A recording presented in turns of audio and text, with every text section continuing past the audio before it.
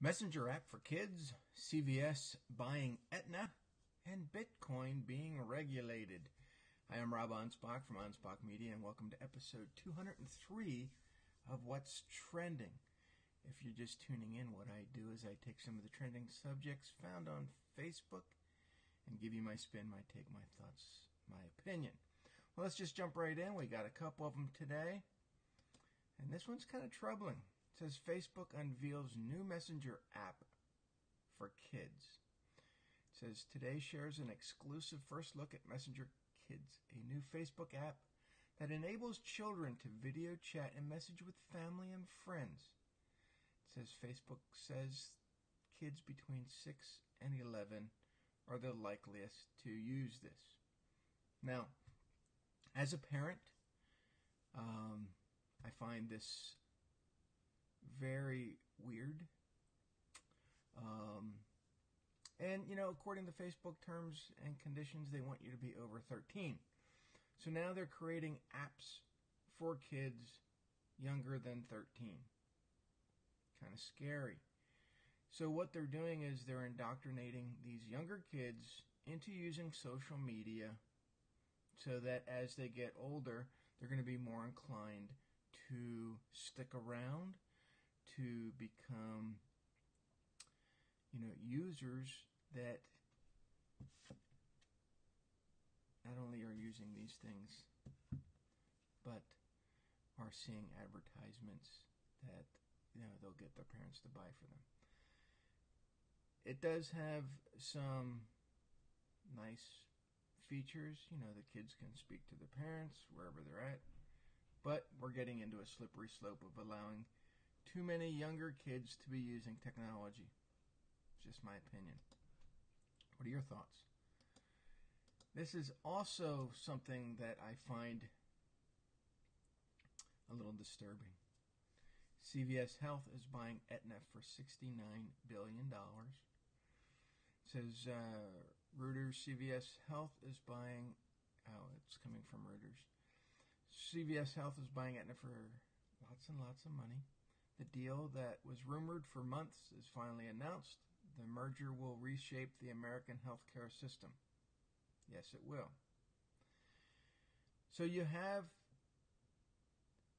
a pharmacy, basically. I mean, yeah, they do have other stuff that they sell, but a pharmacy nonetheless will now control your health information not only to insure you, but to sell you the products, the drugs, the prescriptions. Plus, owning Aetna, does that create a conflict of interest that only those people that have Aetna will be able to have to buy prescriptions through CVS and not, say, Walgreens or Walmart or any other place that has a pharmacy? This could potentially put all mom and pop pharmacies out of business, uh, creating a monopoly of sorts in the pharmaceuticals. So, you know, I'm, I'm disturbed at this. Yes, some people say it's going to change healthcare, and it will. It may make your drugs that you're getting cheaper but it will also put stipulations on where you can buy your stuff. Essentially, putting the other pharmacies out of business. So we'll see. Now, UK, if you guys have been following Bitcoin, you know that it's been up and down, up and down. Bitcoin is kind of like the emotional roller coaster, and the more people are out there telling Others, hey, you gotta get into Bitcoin. There are people like me that are very skeptical. I won't put my money in Bitcoin.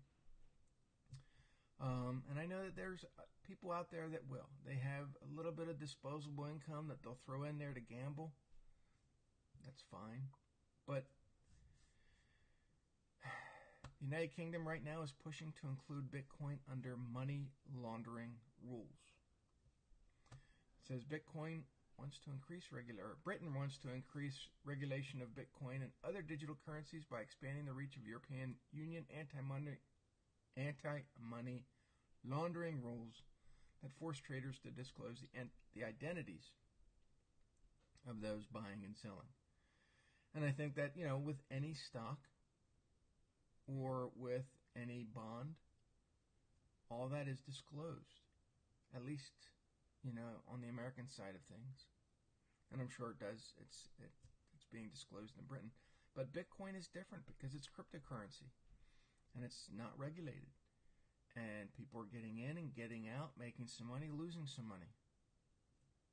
Governments are looking at it. China's already outlawed it. And it's just a matter of time before the other countries step in and say, look, enough's enough. Some countries, some still don't understand how it works. And that scares people. And here's the thing about Bitcoin that I see is that there's a lot of people throwing their money in it, but they're more holding it in there to see if they can actually make money. Bitcoin wasn't really designed that way. It was designed as a vehicle to buy and sell. Nobody is using it that way. So you have this massive amount of income or massive amount of investment going in, none coming out, and those that are taking money out are scaring others, and so you got this roller coaster. So I think there does need to be regulation, and I think it's going to upset people. So what are your thoughts? Let me know. Well, if you'd like to learn a little bit more about me and how I build trust with my clients and or help help them build trust with their audience as well, visit me at AnspachMedia.com. If you like this episode, remember to comment and share. And if you're seeing this on YouTube, make sure you subscribe. That's it for the show. Thanks for watching. I'll catch you tomorrow on episode 204.